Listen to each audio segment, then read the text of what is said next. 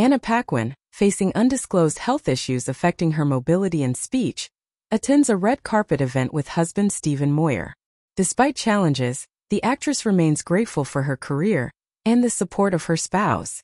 Paquin stars in the indie drama A Bit of Light, directed by Moyer, exploring complex themes of parenthood and overcoming trauma.